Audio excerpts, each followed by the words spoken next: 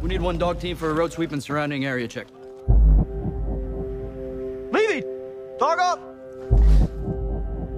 I just don't know why you want to do this. Yeah, I know you don't. You don't really connect with people very well.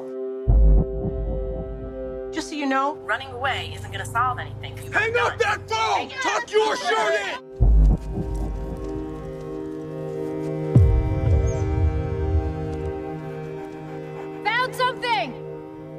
Good boy.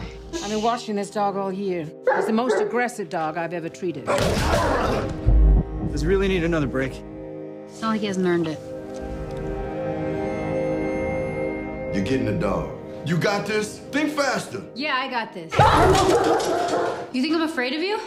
Lay down. Rex, lay down. Vehicle approaching. Guns up!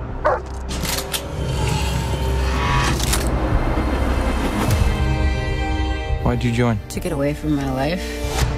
We're shipping out tomorrow. We are so not ready for this. Clear! Leavey, check the vehicle!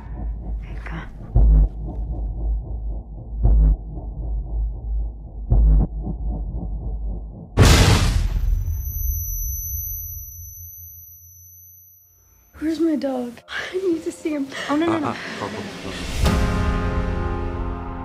You cannot come back to my house like some big war hero. Back off, Mom! You can't let your whole life fall apart over some dog. That dog saved my life.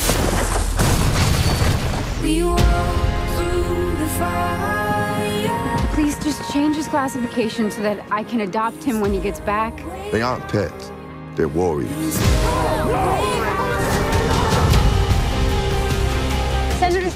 Have a moment of your time? His name is Rex. He saved thousands of lives in Iraq. What did you say your name was? Corporal Megan Leavey.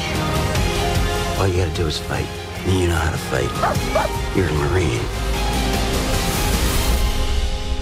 What would you say to Rex if he were here? I'd thank him for teaching me what love is. Is there a way out?